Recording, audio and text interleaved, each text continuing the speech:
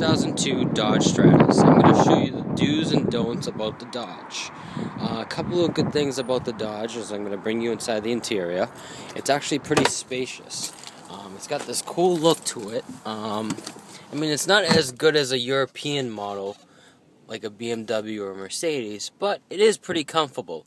It's got really spacious in, uh, interior and as well as the rear. I'll show you right there. It's got cup holders in the back and cup holders in the front. Um, it is a 12 gallon gas tank, which will get me about 280 miles from full to the gas light. Um, it's got an awesome sound system. Believe it or not, for an American car, the system pretty it actually bumps, and um, I'm very happy with it. Uh, I'm going to let you know the issues that I did have with it. Uh, typical Dodge, um, you have to worry about the transmission. And the reason why the transmission fails in the Dodges is that the transmission line, there's a, a rubber mount that you have to tighten. And most people don't realize when uh, transmission fluid's leaking, once you have more transmission fluid inside the transmission, what happens? The transmission blows.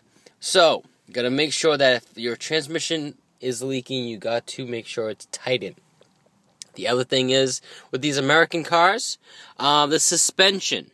Um, let you know on the suspension, the front suspension, the motor mounts, the wheel bearings, these shocks, they tend to go around 70 to 75,000 miles. So you got to make sure you got to do that. There are it's an American car so it's very cheap.